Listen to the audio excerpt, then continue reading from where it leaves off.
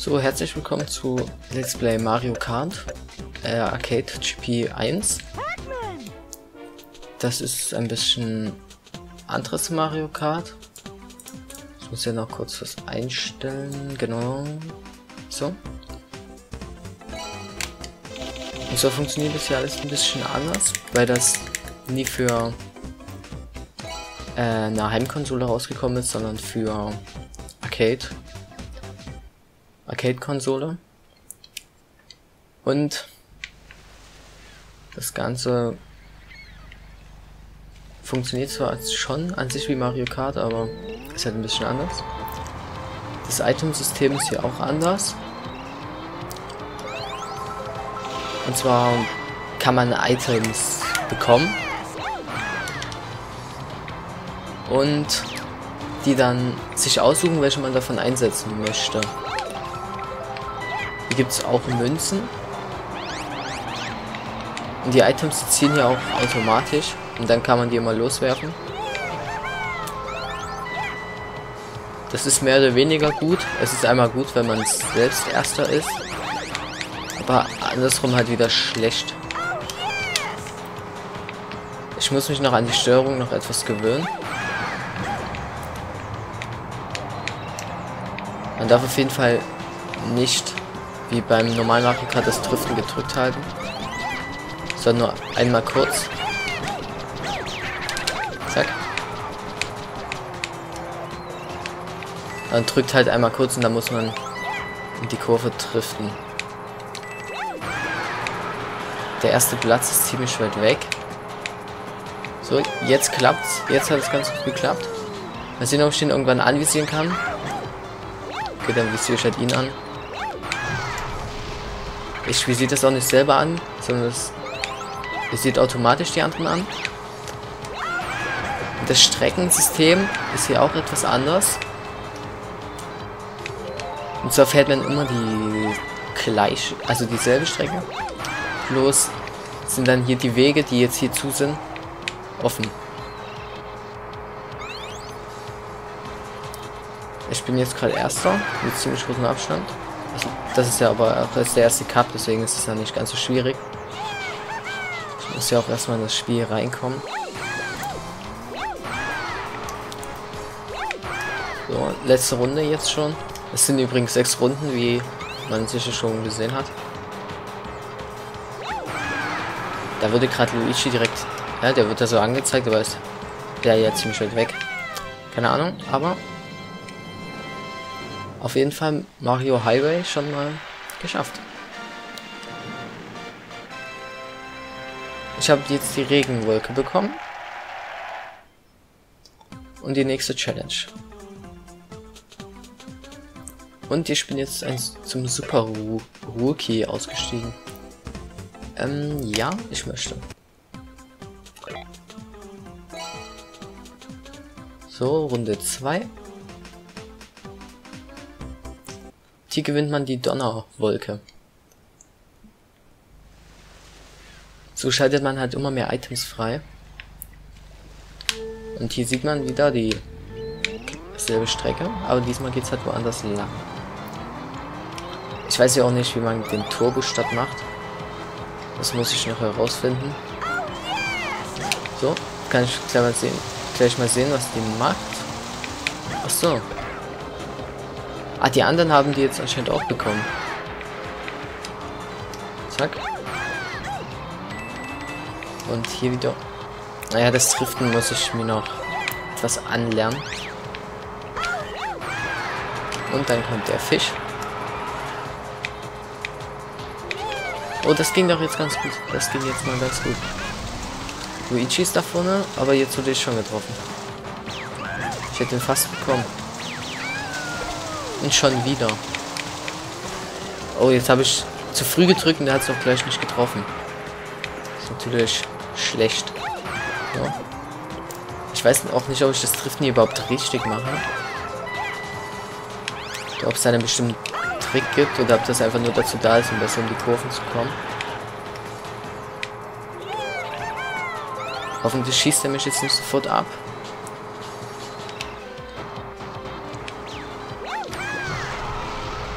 Das sind diesmal nur vier Runden, sehe ich gerade.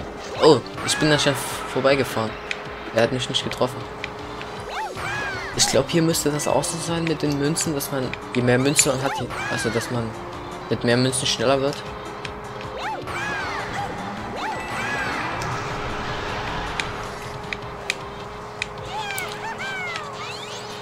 Also noch bin ich erster. Das läuft also ganz gut. Man kann die Items auch nicht nach hinten abschießen. Es gibt von der Reihe, sage ich jetzt mal, schon drei Teile.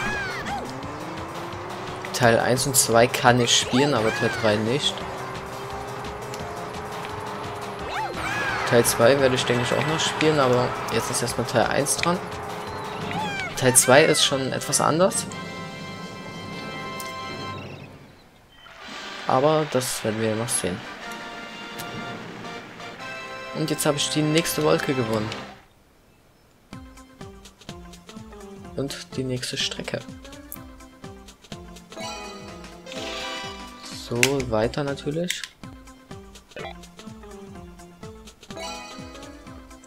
Und Runde 3. Sieht so aus, als würde ich in einem Part einen so einen Cup schaffen. Das ist natürlich ganz gut. Off-Key-Speaker bekomme ich jetzt. Okay.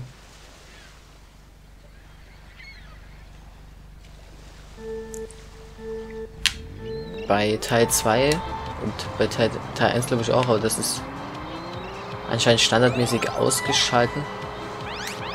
Wird dann auch immer so geredet. Also ich hoffe auf jeden Fall, dass es eine Möglichkeit gibt, das auszumachen. Oh, er hat Bowser. Zack.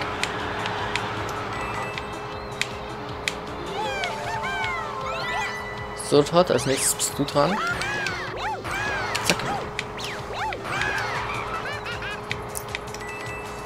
Oh, jetzt schießt er mich ab, aber es hat ihm irgendwie nicht viel gebracht. Hoffentlich kann ich hier einsammeln. Zack. Aber ich habe es jetzt langsam gelernt mit den Kurven, mit dem Driften.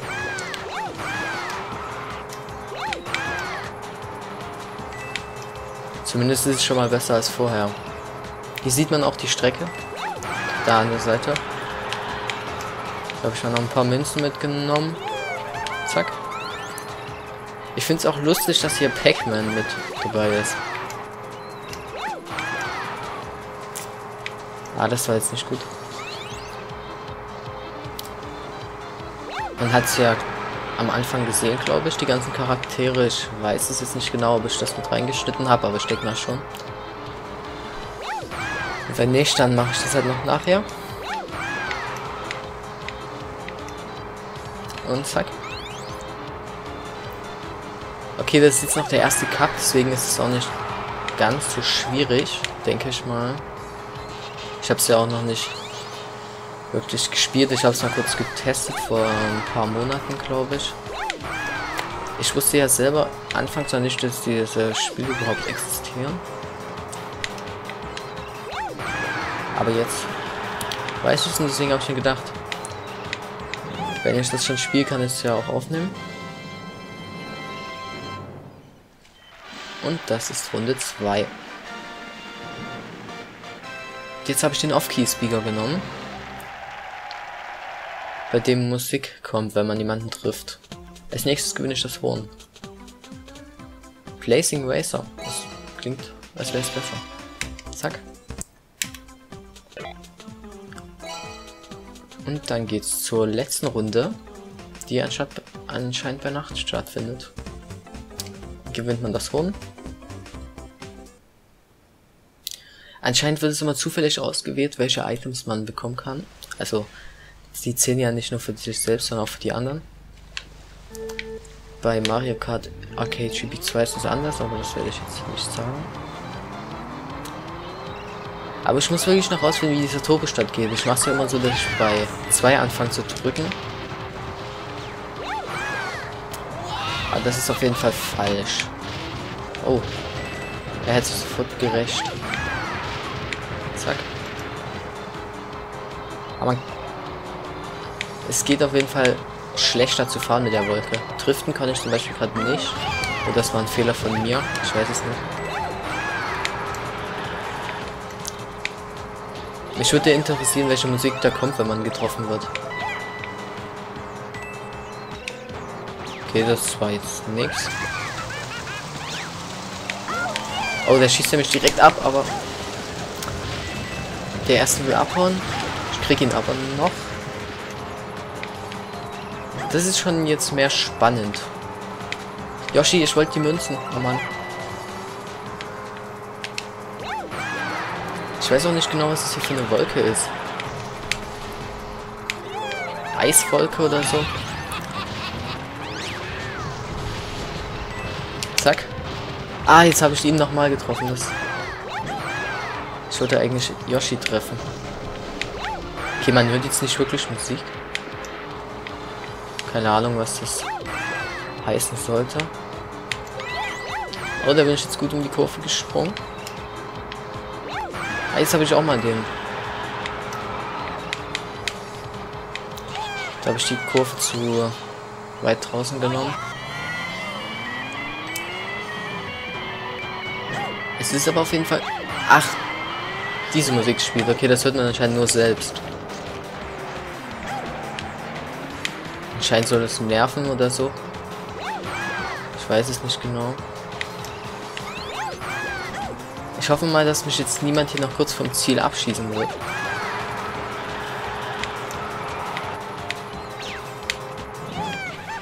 Und zack. Damit bin ich erster. Yay. Jetzt habe ich das Horn bekommen. Äh, zack. Ach so, jetzt kommt noch die, die Challenge, bei der ich die Wassermelone in das Ziel tragen soll. Diese Wassermelone muss in das Ziel. Ich probiere jetzt mal den... Den Turbostart bekommt man, wenn man in dem Moment drückt, wo die Null ist, glaube ich. Wenn ich das jetzt richtig gesehen habe. So, jetzt muss ich auf jeden Fall die Melone hier reinbringen, aber das war jetzt eher weniger schwierig.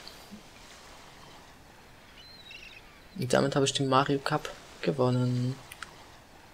Und jetzt kam, bekommt man die Powerpille, bei der man unbesiegbar wird.